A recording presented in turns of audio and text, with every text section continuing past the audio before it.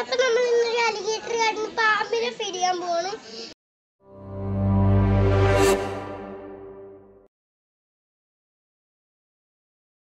Hello guys അപ്പോൾ മറ്റൊരു interesting video ആയിട്ടാണ് ഞാനിന്ന് വന്നിരിക്കുന്നത്. കേരളത്തിൽ മറ്റാരും ചെയ്യാത്ത മേ ബി ഇന്ത്യയിൽ തന്നെ ഫസ്റ്റ് എന്ന് വേണമെങ്കിൽ പറയാം. ഏ അത്രക്കും പറയാറായിട്ടില്ല. അതായത് നമ്മൾ നാലികേട്ടറിന് ഫീഡ് ചെയ്യാൻ പോവുകയാണ്. അപ്പോൾ സാധാരണ എല്ലാവരും ചെയ്യുന്ന പോലെ തവള മീൻ ഫിഷ് ഫുഡ് ഇതൊന്നുമല്ല നമ്മൾ ചെയ്യാൻ പോകുന്നത്. നമ്മളതല്ല ഒന്നാം തരം ഒരടി പ്ലസ് നീട്ടമുള്ളൊരു ചേരക്കുഞ്ഞിനെയാണ് നമ്മളിത് ഫീഡ് ചെയ്യാൻ പോകുന്നത്. അപ്പോൾ നമ്മളതിനെ കളക്ട് ചെയ്ത് വെച്ചിട്ടുണ്ട്. ഞാൻ കാണിക്കാം. അപ്പോൾ ഇതാണ് കേട്ടോ സാധനം ഗൈസ് അത്യാവശ്യം നല്ല നീട്ടമുണ്ട്. നമുക്ക് എന്തായാലും അലിഗേറ്ററിന് ഇത് ഫീഡ് ചെയ്ത് കാണിച്ചു കൊടുക്കാം. അലിഗേറ്റർ കഴിക്കുകയോ ഇല്ലയോ എന്നൊന്നും എനിക്ക് ഉറപ്പില്ല. എന്തായാലും നമുക്ക് ട്രൈ ചെയ്ത് നോക്കാം. ഇത് ജസ്റ്റ് ഒരു എക്സ്പെരിമെന്റൽ വീഡിയോ ആയിട്ട് കൺസിഡർ ചെയ്യണം കേട്ടോ ഗൈസ് അപ്പോൾ ഇപ്പം തന്നെ ലൈക്ക് ചെയ്തോ? കാരണം നമ്മൾ ഇഷ്ടംപോലെ വർക്ക് എടുത്തിട്ടാണ് ഈ പാമ്പിനെയൊക്കെ പിടിച്ച് കണ്ടന്റ് ചെയ്യുന്നത്. അതിന്റെ നിങ്ങൾ ലൈക്ക് ചെയ്തില്ലെങ്കിൽ അത് വളരെ മോശമാണ് കേട്ടോ ഗൈസ് പ്രത്യേകിച്ച് തിങ്കളാഴ്ച എക്സാം കൂടിയാണ്. അതിന്റെ ഇടയ്ക്കാണ് ഞാനിത് ചെയ്യുന്നത്. ഇന്ന് ശനിയാഴ്ച. എക്സാമിന് വരും പൊട്ടും ഗൈസ് അപ്പോൾ വീഡിയോയ്ക്ക് ഇപ്പം തന്നെ ലൈക്ക് ചെയ്തേക്കും. ഇല്ലെങ്കിൽ നിങ്ങൾ തീർച്ചയായും മറന്നു പോകുന്നതായിരിക്കും. അപ്പോൾ വീഡിയോ ആദ്യം മുതൽ അവസാനം വരെ മുടങ്ങാതെ കാണാൻ ശ്രമിക്കുക. അപ്പോൾ ഗൈസ് അപ്പോൾ ഇന്നത്തെ നമ്മുടെ ഇരയും മെയിൻ ഗസ്റ്റും ആയിട്ടുള്ള മന്നച്ചേരയെ പരിചയപ്പെടുത്തി തരാം. മന്നച്ചേരയാണിതെന്നാണ് എന്റെ ഒരു അസംഷൻ അണ്ട് ചിലവരൊക്കെ ഓലച്ചുരുളനാണെന്നൊക്കെ പറയുന്നുണ്ട്.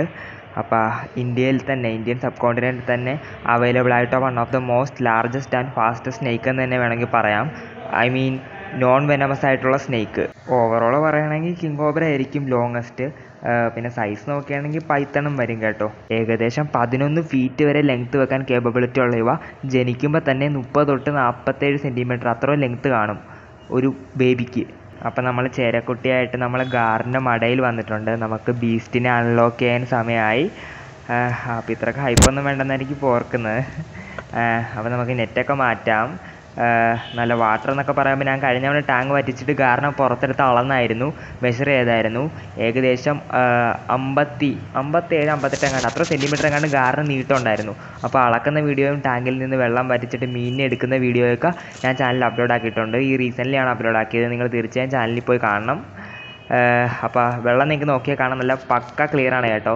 അടിത്തട്ടിയിരിക്കുന്ന കാറിന് നിങ്ങൾക്ക് കാണാമെന്ന് ഓർക്കുന്നു.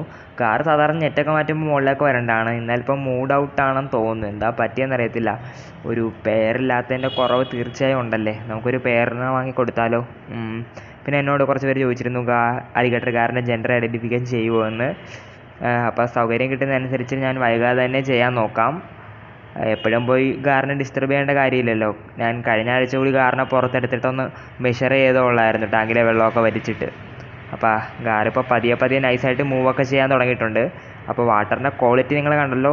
ഇതിൽ ഈ പാതി ഭാഗവും ജപ്പാൻ വാട്ടറാണ് കേട്ടോ. ബാക്കി കുറച്ചൊരു ട്വന്റി പെർസെന്റ് ഒക്കെ മഴവെള്ളമാണ് നമ്മൾ ഗാറിന് ഒരു നാച്ചുറൽ എൻവയോൺമെന്റ് കിട്ടാൻ വേണ്ടിയിട്ട് വാട്ടർ ക്യാബേജ് അത് കൂടാണ്ട് മറ്റേ ഫോക്സ് ടേലൊക്കെ ഇട്ട് കൊടുത്തിട്ടുണ്ട്. കാരണം അതൊക്കെ ഇഷ്ടപ്പെടും.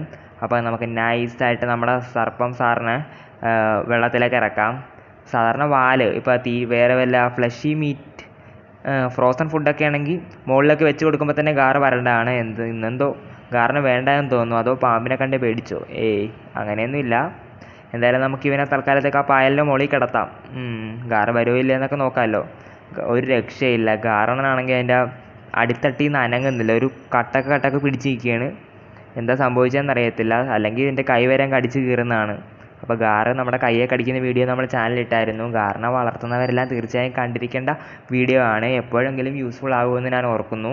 അപ്പോൾ കണ്ടിട്ടില്ലേ? തീർച്ചയായും പോയി കാണണം കേട്ടോ ഗാറെന്നൊക്കെ പറയുമ്പോൾ ഏകദേശം പത്തടിയോളം അതായത് averagely four to six feet വെക്കുമെങ്കിലും നന്നായി ഫീഡ് ചെയ്താൽ ചില സമയങ്ങളിൽ പത്തടിയോളം ലെങ്ത്ത് വെക്കാൻ കേപ്പബിലിറ്റി ഉള്ളൊരു മീനാണ്.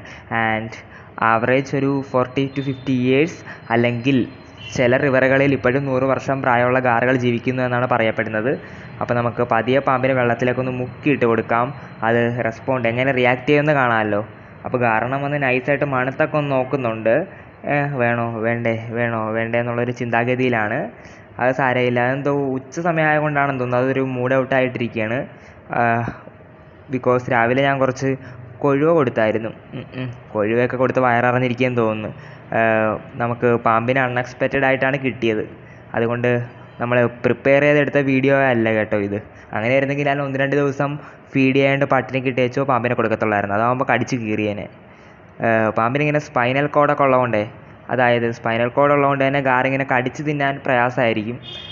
ഗാറ് നിങ്ങൾക്ക് അറിയാമല്ലോ അതങ്ങനെ ചൂ ഒന്നും അധികം ചെയ്യത്തില്ല വിഴുങ്ങിയാണ് ചെയ്യുന്നത്. അപ്പോൾ ഉച്ച കഴിഞ്ഞ് ഗാർണൻ ആക്റ്റീവ് ആയതുകൊണ്ട് നമുക്ക് ഈ ടൈമിൽ ഫീഡ് ചെയ്യാൻ ഓർത്ത് വന്നിരിക്കുകയാണ്.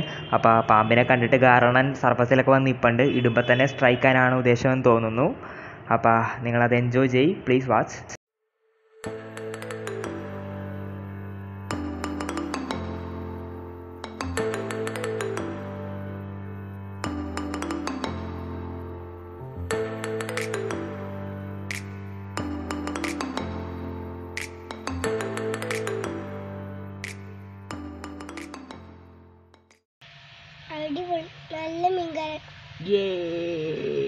മറ്റേ മീനൊക്കെ പ്രസവിച്ചാ? ആ, അവൻ പ്രസവിക്കുന്നുണ്ട്. എത്ര കുഞ്ഞുങ്ങളായി? ഒരു കുഞ്ഞിന് അതിന്റെ ഭാര്യയാണ് തന്നില്ല കടിച്ചല്ലേ കടിച്ചു. എന്നിട്ട് വളരെ മോതിരം നോക്കി കടിച്ചെന്ന് പറഞ്ഞില്ലേ? അത്. അപ്പോൾ ഗൈസ് മന്നച്ചേരയാണെങ്കിൽ ഗാർണനെ ഒരേ കടിയിൽ തന്നെ പിടിച്ചു വെച്ചിരിക്കുകയാണ്. പിടിവിടാൻ ഉദ്ദേശമില്ല എന്ന് തോന്നുന്നു. അപ്പോൾ നമ്മൾ നമ്മുടെ അധ്യായം ഇവിടെ വെച്ച് അവസാനിപ്പിക്കുവാണ്. അടുത്ത ചാപ്റ്റർ ഉടനെ തന്നെ തുടങ്ങുന്നതായിരിക്കും. അപ്പോൾ വീഡിയോ ഇഷ്ടപ്പെട്ട ലൈക്ക് ചെയ്യണം. ഇതുപോലെയുള്ള ഇൻട്രസ്റ്റിംഗ് വീഡിയോകൾക്കായി നമ്മുടെ വാട്ടർമാൻ പേജ് ഫോളോ ചെയ്യാൻ മറക്കരുതേ.